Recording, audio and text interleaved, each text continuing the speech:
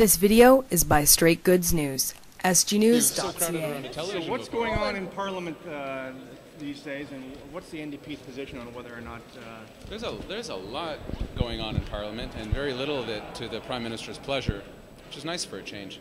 The uh, we saw again today two more Conservative members got to their feet in support of their colleague, who feels he's been muzzled by the Prime Minister's office.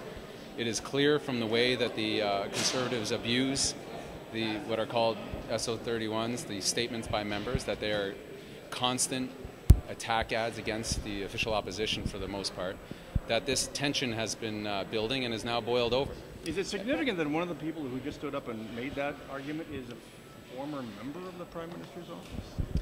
Uh, I thank you for making that connection. I had not made that yet. Um, what I've come to realize is that certainly Mr. Warawa and his frustrations with, the, with Mr. Harper's control over his every utterance and word in the House of Commons is not unique to him.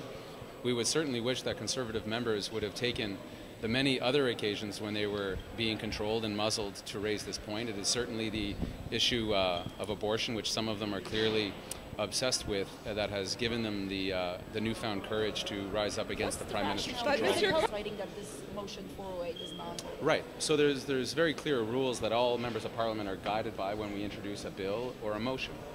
One of the the tests that you have to meet is that the bill deals with federal jurisdiction, not provincial or municipal.